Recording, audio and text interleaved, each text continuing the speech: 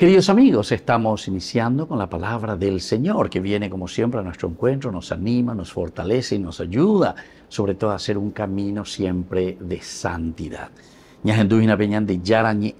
A través de la carta del apóstol San Pablo a los cristianos de Roma. Estamos en el capítulo 1 del 1 al 7. lleva qué es lo que San Pablo le quiere presentar a la comunidad de Roma por primera vez pero Ojaísh Becuera y les dice qué es lo que yo conozco, qué es lo que yo pienso y cómo yo creo y me afirmo en el Señor.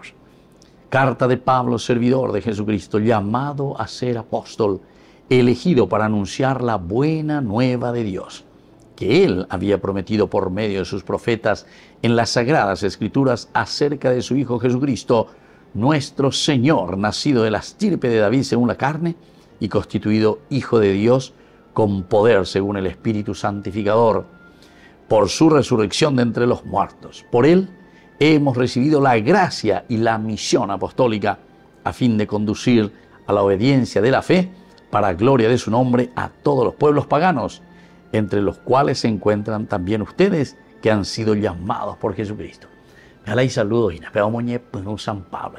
Qué hermoso y qué lindo.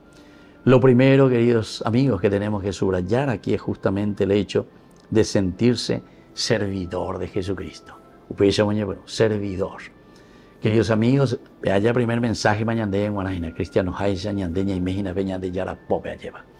Tembiguay ñande yara pope ko y shubiha y koana ñande jehuia ¿Para qué, queridos amigos? Justamente para ser apóstol y elegido para anunciar la buena nueva de Dios.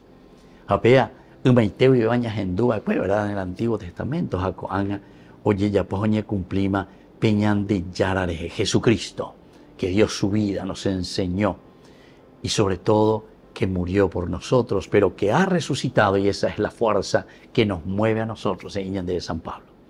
Queridos amigos, pidamos esta gracia también, primero para nosotros, así como Pablo, pero luego para expandir. Dice también, para los paganos, es decir, para todos. Es lo universal. Dios tiene que reinar en el corazón de todos. Y que la bendición del Señor descienda sobre ustedes, el Padre y el Hijo y el Espíritu Santo. Amén.